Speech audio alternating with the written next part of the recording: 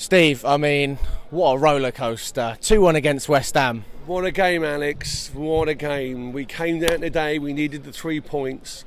The first half, you know, it wasn't it was okay, you know, it wasn't going that well. Right, and absolutely when we went the 1 0 down, oh my God, I thought, here we go. And then the second half, right, I was right in this shed upper there. Right, oh my God, we got the, the, the equalising goal. Fantastic and then we went uh, the 2 1 up, and everyone was going nuts. Yeah, come on, right? And suddenly West Ham equalised. Before I was, I was on my phone uh, catching around people like, oh my God. And suddenly I thought, 2 all. No, and then the VAR came up, and I thought, come on, come please. And you know what? We got the result, the VAR. I don't know what happened. I was so excited after the goal, our second goal. I was exactly the same. No idea. So uh, a couple of people said to me, mm, you know, we're not sure what happened, but you know what? We got the result today. You know, we got the three points. Come on the Chelsea, right? It's been a tough few. Uh, it's been a tough three, four months, to be honest, Alex. But uh, we're here. You know, all my family were today. I was with Tony SW6. Had a great day. Fantastic. So we got the three points, and I'm here with you, mate. What a pleasure. What a pleasure to be here. And do you know what? Hopefully, this is the start of something special. You know, obviously, we've had so many rumours going Absolutely. around with the transfer window. Yeah. Finally, we've got a settled squad.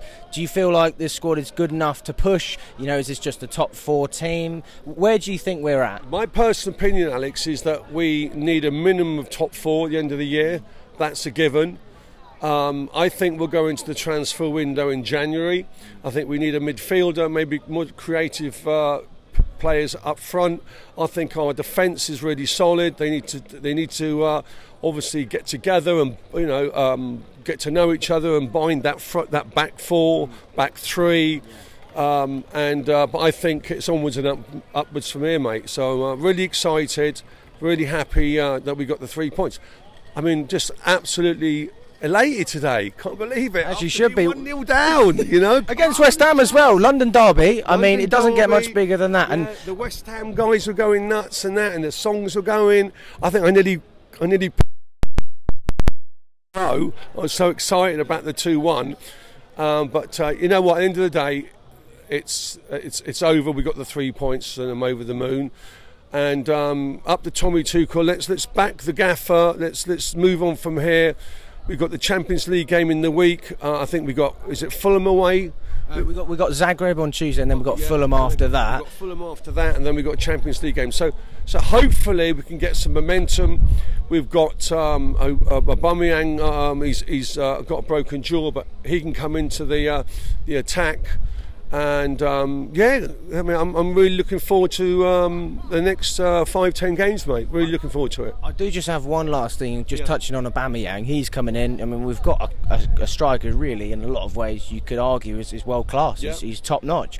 But this brings question marks over Havertz and Broja. You know, where are they going to fit in the squad? What can you see Thomas Tuchel doing, managing those three players? I think only Thomas Tuchel can answer that question.